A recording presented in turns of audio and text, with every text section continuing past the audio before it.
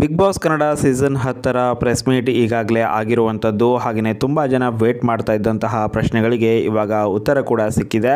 ಇದಷ್ಟಲ್ಲದೆ press meet ನಡೀತಾ ಇರುವಾಗಲೇ ವೇದಿಕೆಯಿಂದ ಕೆಳಗಿಳಿದು ಕಿಚ್ಚ ಸುದೀಪ್ ಅವರು ಬಂದಿದ್ದಾರೆ. ಬನ್ನಿ ಹಾಗಾದರೆ ಏನೆಲ್ಲ ಆಯಿತು ಅನ್ನೋದನ್ನು ಈ ವಿಡಿಯೋದಲ್ಲಿ ನಾನು ನಿಮಗೆ ತಿಳಿಸ್ಕೊಡ್ತಾ ಇದ್ದೀನಿ. ಅದಕ್ಕೂ ಮೊದಲು ಚಾನಲನ್ನು ಸಬ್ಸ್ಕ್ರೈಬ್ ಮಾಡ್ಕೊಂಡಿಲ್ಲ ಅಂತ ಹೇಳಿದ್ರೆ ಎಲ್ಲರೂ ಕೂಡ ಈಗಲೇ ಸಬ್ಸ್ಕ್ರೈಬ್ ಮಾಡ್ಕೊಳ್ಳಿ. ಜೊತೆಗೆ ಬಿಗ್ ಬಾಸ್ನ ಬ್ಯಾಕ್ ಸ್ಟೇಜ್ ಫೋಟೋಸ್ಗಳು ವಿಡಿಯೋಸ್ಗಳನ್ನೆಲ್ಲ ನೀವು ನೋಡಬೇಕು ಅಂತ ಹೇಳಿದ್ರೆ ಟೆಲಿಗ್ರಾಮ್ ಲಿಂಕನ್ನು ಡಿಸ್ಕ್ರಿಪ್ಷನ್ ಬಾಕ್ಸ್ ಹಾಗೆ ಕಮೆಂಟ್ ಬಾಕ್ಸಲ್ಲಿ ಕೊಟ್ಟಿರ್ತೀನಿ. ಎಲ್ಲರೂ ಕೂಡ ಆದಷ್ಟು ಜಾಯ್ನ್ ಆಗಿರಿ. ಸೊ ಇವಾಗ ಡೈರೆಕ್ಟ್ ಆಗಿ ವಿಷಯಕ್ಕೆ ಬರೋಣ. ಬಿಗ್ ಬಾಸ್ ಕನ್ನಡ ಸೀಸನ್ ಹತ್ತಕ್ಕೆ ಸಂಬಂಧಪಟ್ಟ ಹಾಗೆ ಜನರಲ್ಲಿದ್ದಂತಹ ಅತ್ಯಂತ ದೊಡ್ಡ ಪ್ರಶ್ನೆ ಯಾವುದಪ್ಪ ಅಂತ ಹೇಳಿದ್ರೆ, ಅನುಬಂಧ ನೋಡಿದ ಮೇಲೆ ಚಾರ್ಲಿ ತ್ರಿಬಲ್ ಸೆವೆನ್ನಲ್ಲಿ ನಟಿಸಿರುವಂತಹ pet Bigg Boss Kannada season ಹತ್ತಕ್ಕೆ ಬರ್ತಾ ಇದೆ ಅನ್ನುವಂತಹ ಒಂದು ಮಾಹಿತಿ ಏನೋ ಸಿಕ್ಕಿತ್ತು. ಈ ರೀತಿಯಾಗಿ ಅನೌನ್ಸ್ಮೆಂಟ್ ಅನ್ನು ಕೂಡ ಮಾಡಿದ್ರು.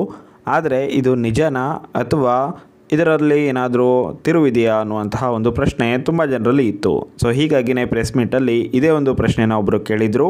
ನಿಜಕ್ಕೂ ತ್ರಿಬಲ್ ಸೆವೆನ್ ಚಾರ್ಲಿ ಬಿಗ್ ಬಾಸ್ಗೆ ಬರ್ತಾ ಇದೆಯಾ ಅಂತ ಹೇಳಿ, ಆಗ ಉತ್ತರ ಬಂದಿರುವಂಥದ್ದು ಹೌದು, ನಾವು ಈಗಾಗಲೇ ಅನುಬಂಧ ಅವಾರ್ಡ್ಸಲ್ಲಿ ಏನು ಅನೌನ್ಸ್ಮೆಂಟ್ ಮಾಡಿದ್ದೀವಿ, ಅದೇ ರೀತಿಯಾಗಿ ತ್ರಿಬಲ್ ಸೆವೆನ್ ಚಾರ್ನಿನಲ್ಲಿ ಆ್ಯಕ್ಟ್ ಮಾಡಿರುವಂತಹ ಪೆಟ್ ಬಿಗ್ ಬಾಸ್ಗೆ ಬರ್ತಾ ಇದೆ ಅನ್ನೋದನ್ನು ಸ್ವತಃ ಕಲರ್ಸ್ ಕನ್ನಡದ ಬಿಸಿನೆಸ್ ಹೆಡ್ ಅವರೇ ಕನ್ಫರ್ಮ್ ಮಾಡಿದ್ದಾರೆ. ಇನ್ನು ಕಿಚ್ಚ ಸುದೀಪ್ ಅವರು ವೇದಿಕೆಯಿಂದ ಕೆಳಗಿಳಿದಂತಹ ಘಟನೆ ಏನಿದೆ, ಇದರ ಬಗ್ಗೆ ಮಾತಾಡಬೇಕು ಅಂತ ಹೇಳಿದ್ರೆ, ಕೆಲವೊಂದಿಷ್ಟು ಪ್ರಶ್ನೆಗಳನ್ನು ಪ್ರೆಸ್ ಮೀಟ್ನಲ್ಲಿ ಕೇಳ್ತಾ ಇದ್ರು. ಇದೇ ಸಮಯದಲ್ಲಿ ಇನ್ನೊಂದು ಪ್ರಶ್ನೆ ಬರುತ್ತೆ. ಬಿಗ್ ಬಾಸ್ಗೆ ನೀವು ಯಾರನ್ನ ಸೆಲೆಕ್ಟ್ ಮಾಡ್ತಿರೋ, ಅದಕ್ಕೆ ಏನಾದರೂ ಮಾನದಂಡ ಇದೆಯಾ? ಯಾಕಂತ ಹೇಳಿದ್ರೆ, ತುಂಬ ಜನ ಈಗಾಗಲೇ ಟ್ರೋಲ್ ಆಗಿದ್ದಾರೆ. ಮೂರಿಂದ ನಾಲ್ಕು ಜನ ಟ್ರೋಲ್ ಆಗಿದ್ರು. ಇದರಿಂದಾಗಿನೇ ಕೇಳ್ತಾ ಇದ್ದೀನಿ, ನೀವು ಬಿಗ್ ಬಾಸ್ಗೆ ಸ್ಪರ್ಧೆಗಳನ್ನು ಸೆಲೆಕ್ಟ್ ಮಾಡುವಲ್ಲಿ ಏನಾದರೂ ಮಾನದಂಡ ಇದೆಯಾ ಅನ್ನುವಂತಹ ಒಂದು ಪ್ರಶ್ನೆನ ಕೇಳ್ತಾರೆ.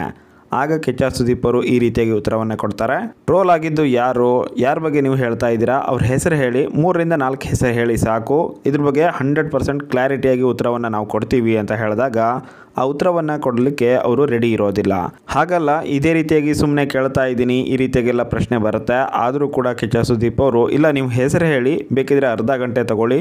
ನಿಮ್ಮಿಂದ ಉತ್ತರವನ್ನು ಕೇಳಲಿಕ್ಕೆ ನಾವು ರೆಡಿ ಇದ್ದೀವಿ ಅಂತ ಹೇಳಿ ಸ್ವಲ್ಪ ಹೊತ್ತು ಹಾಗೆಯೇ ವೇಟ್ ಮಾಡ್ತಾರೆ. ಆದರೂ ಕೂಡ ಅವರಿಂದ ಯಾವುದೇ ರೀತಿಯಂತಹ ಉತ್ತರ ಬರೋದಿಲ್ಲ. ಆಗ ಸ್ವತಃ ಕಿಚ್ಚ ಸುದೀಪ್ ಅವರೇನೆ ಸ್ಟೇಜ್ ಮೇಲಿಂದ ಇಳಿದು ಕೆಳಗಡೆ ಹೋಗಿ ಪ್ರಶ್ನೆ ಕೇಳಿದವರ ಹತ್ರನೇ ಮಾತಾಡಿದಾಗ ಅವರು ಕೂಡ ಹೆಸರನ್ನ ಹೇಳಲಿಕ್ಕೆ ತುಂಬಾನೇ ಹಿಂಜರಿತಾರೆ ಅಂತಾನೆ ಹೇಳಬಹುದು. ಕ್ವಶನ್ ಅನ್ನ ಕೇಳಿರೋರು ಅವರ ಹೆಸರನ್ನ ಕೂಡ ಹೇಳಿದಿದ್ರೆ ಉತ್ತರ ಏನು ಬರುತ್ತೆ ಅನ್ನೋದನ್ನ ತಿಳ್ಕೊಳ್ಳೋದಕ್ಕೆ ಜನತೆಯಂತೂ ಸಖತ್ ವೇಟ್ ಮಾಡ್ತಾ ಇದ್ರು. ಇವರು ಹೆಸರನ್ನ ಹೇಳಿದಿದ್ರೆ ಅದು ಸ್ವಲ್ಪ ದೊಡ್ಡ ಇಶ್ಯೂ ಆಗಬಹುದು ಅನ್ನುವಂತಹ ಒಂದು ಯೋಚನೆ ಮಾಡಿ ಅವರು ಹೆಸರು ಹೇಳಿಲ್ವೋ ಅಥವಾ ಬೇರೆ ಯಾವ ಕಾರಣಕ್ಕೆ ಹೇಳಿಲ್ವೋ ಗೊತ್ತಿಲ್ಲ. ಇದಾದ ನಂತರ ಕಿಚ್ಚ ಸುದೀಪ್ ಅವರು ನೀವು ಯಾರ ಬಗ್ಗೆ ಮಾತಾಡ್ತಾ ಇದ್ದೀರೋ, ಯಾರೇ ಆಗಿರಲಿ ಬೇಕಿದ್ರೆ ಅವರು ಅವರು ಯಾರ್ದೋ ಗಂಡ ಆಗಿರಬಹುದು, ಯಾರ್ದೋ ಹೆಂಡತಿ ಆಗಿರಬಹುದು, ಅಥವಾ ಯಾರ್ದೋ ಒಂದು ಫ್ಯಾಮಿಲಿ ಮೆಂಬರ್ಸ್ ಆಗಿರ್ತಾರೆ, ಅವರ ಮನೆಯಲ್ಲಿ ಏನಾಗಿದೆ ಅನ್ನೋದು ನಮಗೆ ನಿಮಗೆಲ್ಲ ಗೊತ್ತಿರತ್ತಾ? ಹೇಳಿ ಗೊತ್ತಿಲ್ಲದೇ ಮಾತಾಡಬಾರ್ದು ಅನ್ನೋ ರೀತಿಯಲ್ಲಿ ಅವರು ಉತ್ತರವನ್ನು ಕೊಟ್ಟು ವೇದಿಕೆ ಮೇಲೆ ಹೋಗ್ತಾರೆ. ಹಾಗೆಯೇ ಪ್ರಶ್ನೆ ಕೇಳಿದವರು ಕೂಡ ಅಲ್ಲಿಗೇನೆ ಸುಮ್ಮನೆ ಆಗ್ತಾರೆ. ಪ್ರಶ್ನೆ ಕೇಳೋದೇನೋ ಕೇಳಿದ್ರು, ಬಿಗ್ ಬಾಸ್ಗೆ ಸ್ಪರ್ಧೆಗಳನ್ನು ಸೆಲೆಕ್ಟ್ ಮಾಡುವಲ್ಲಿ ಯಾವ ಮಾನದಂಡವನ್ನು ಕನ್ಸಿಡರ್ ಮಾಡ್ತೀರಾ? ಅನ್ನುವಂತಹ ಪ್ರಶ್ನೆಯನ್ನಷ್ಟೇ ಕೇಳಿದರೆ ಖಂಡಿತವಾಗ್ಲೂ ಉತ್ತರ ಬರ್ತಾ ಇತ್ತು.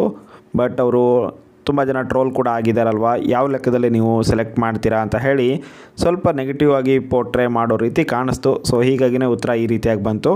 ಅದನ್ನೇ ಅವರು ಹೇಳಿದ್ರು ಕೂಡ ಕೆಚ್ಚ ಸುದೀಪ್ ಅವರು. ಯಾವ ರೀತಿಯಾಗಿ ಪ್ರಶ್ನೆ ಇರುತ್ತೋ ಅದೇ ರೀತಿಯಾಗಿ ಉತ್ತರ ಕೂಡ ಬರುತ್ತೆ ಅನ್ನೋದನ್ನ ಹೇಳಿದ್ರು. ಸೊ ಒಟ್ಟಾರೆಯಾಗಿ ಇದೆಲ್ಲ ಆಯಿತು. ಇದನ್ನು ಬಿಟ್ಟು ಕೂಡ ಏನಾದರೂ ಇಂಪಾರ್ಟೆಂಟ್ ಅಪ್ಡೇಟ್ ಇದ್ದರೆ ಅದನ್ನು ಕೂಡ ಆದಷ್ಟು ಬೇಗ ತಿಳಿಸ್ಕೊಡ್ತೀನಿ. ಅಲ್ಲಿ ತನಕ ವಿಡಿಯೋಗೆ ಲೈಕ್ ಮಾಡಿ ಶೇರ್ ಮಾಡ್ತಾ ಇರಿ ಅಂತ ಹೇಳ್ತಾ ವಿಡಿಯೋನ ಮುಗಿಸ್ತಾ ಇದ್ದೀನಿ. Thank you so much